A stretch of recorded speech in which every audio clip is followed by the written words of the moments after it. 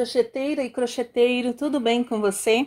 Para quem ainda não me conhece, eu sou a Dai do Ateliê da Arte Crochê e hoje nesse vídeo eu vim responder a dúvida de algumas lindonas que estão comentando aqui nos comentários dos vídeos é, para me explicar qual cor é, deve prevalecer em uma combinação de cor, a mais clara ou a mais escura. Então, pessoal, é, eu sei que tem muita gente que já entende de combinação de cor, mas tem muitas meninas iniciantes do nosso canal que precisam esclarecer essa dúvida.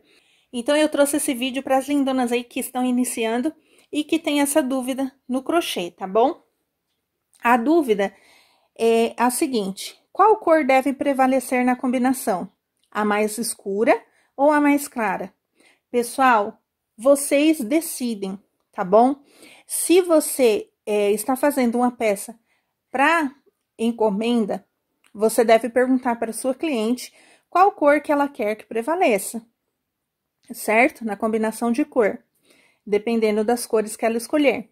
Se você está fazendo para pronta entrega, você decide qual é a cor que você quer que prevaleça e dependendo do efeito que você quer dar no seu tapete, tá certo?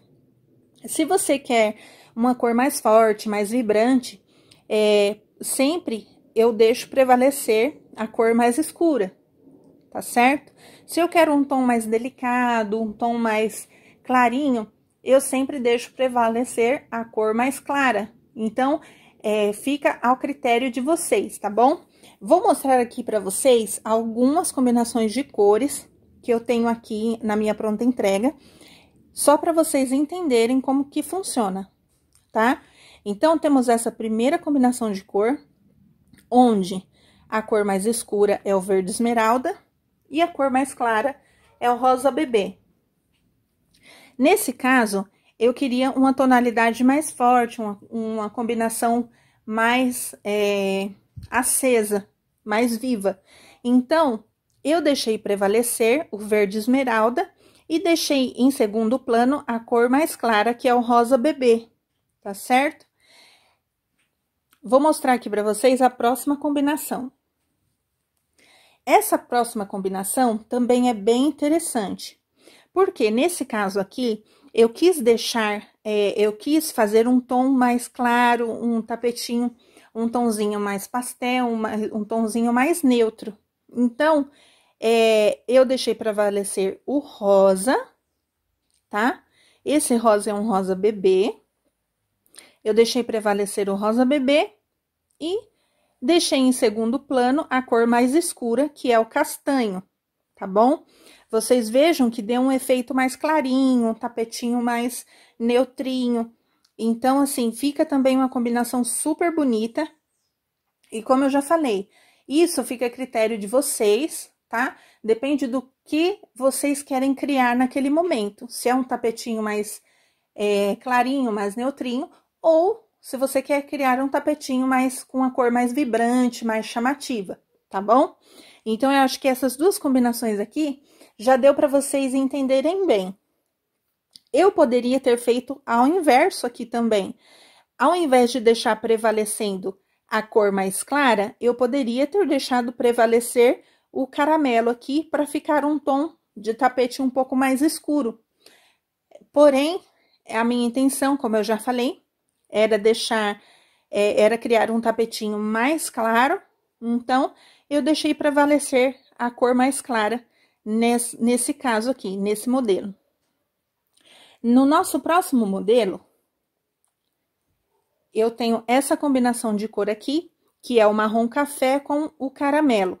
Então, nesse caso aqui, eu deixei prevalecer a cor mais clara, e eu deixei o marrom café em segundo plano, e a cor que prevalece aqui é o caramelo, tá bom? Poderia também ter feito ao inverso, se eu quisesse um tapete mais escuro, tá? Geralmente, clientes que gostam de tapete bem escuro gostam dessa combinação, tá?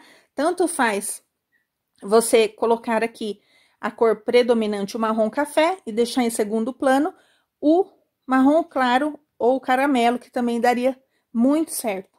A tá nossa bom? última combinação eu deixei prevalecendo a cor mais escura, que é o amarelo, tá? Nessa combinação aqui, eu utilizei o amarelo, o ouro e o cru, tá certo? Então, nessa combinação aqui, a cor que eu quis deixar predominante, porque eu queria uma peça mais viva, uma peça mais escura, uma peça mais chamativa, então eu deixei predominando o amarelo e deixei o cru em segundo plano, tá certo? Mas eu poderia também deixar o amarelo em segundo plano e deixar em primeiro plano o cru. Independente das cores que combinam, como aqui o amarelo eu fiz a combinação com o cru, tá? Independente da cor que você escolher, quem escolhe a, a ordem das cores aqui nas combinações é você, tá bom? Eu espero que você tenha entendido. Se vocês não entenderam, se ainda ficou alguma dúvida, deixa aqui para mim nos comentários, que no próximo vídeo, nos próximos vídeos aí de combinações de cores, eu posso estar respondendo para vocês, tá bom? Como eu já falei, é, quando eu faço vídeo de combinações de cores, por exemplo, ah, o verde esmeralda combina com rosa? Combina. Então, qualquer um, qualquer ordem de combinação aqui vai dar certo na combinação de cor. É, eu espero que as lindonas que fizeram a pergunta tenham entendido também. Se não entendeu, ainda restou alguma duvidazinha? Deixa aí nos comentários para mim. Se inscreva no canal se você não for inscrito. Ative o sininho das notificações e aperte a opção todas para todos os vídeos que eu postar por aqui, vocês ficarem sabendo em primeira mão, tá certo? Um super beijo para vocês, fiquem com Deus e até o nosso próximo vídeo, se Deus quiser.